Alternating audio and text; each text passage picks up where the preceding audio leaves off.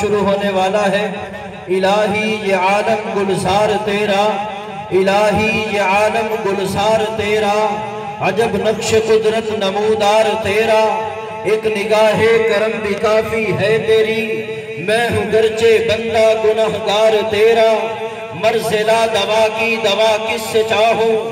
تو ہے شافی میرا، میں ہوں بیمار تیرا۔ شفا دینے والا میرا اللہ ہے۔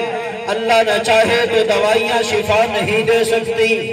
موسیٰ علیہ السلام کی داڑ میں درد ہوتا ہے۔ اللہ سے دعا کی، اللہ جی اس کا کوئی علاج بتلائیے۔ میرے اللہ نے وہی بھیجی۔ میرے موسیٰ کریم جا کوہ دور پہاڑ پہ۔ پہاڑ کے اوپر چلا جا، وہاں فلا قسم کی بوٹی ہے، اس کے چند پتے توڑ، اس کو کھا لے، میں اللہ تجھے شفا عطا کر دوں گا۔ موسیٰ علیہ السلام نے حکم کی تعمیل کی، بوٹی کو کھایا، آرام آ گیا، وقت گزر گیا۔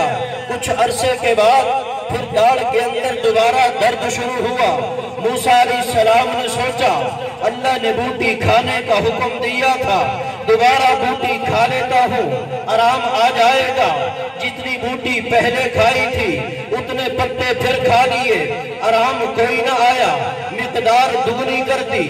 آرام کوئی نہ آیا، مقدار کو بڑھاتے چلے گئے۔ جب مقدار بڑھا بڑھا کر، بوٹی کو کھا کھا کر تھک گئے۔ اللہ کی بارگاہ میں عرض کیا، ربا یہ کیا مانجرا ہے؟ پچھلی دفعہ تھوڑی سی بوٹی مقدار کھائی تھی فوراں آرام آ گیا تھا۔ آج بوٹیوں کی بوٹیاں کھا گیا ہو لیکن آرام کیوں نہیں آ رہا؟ رب کریم نے وہی نازل کی۔ موسیٰ کلیم اللہ، بوٹیوں میں شفا نہیں رکھی، دوائیوں میں شفا نہیں رکھی۔ شفا میں نے اپنے حکم میں رکھی ہے۔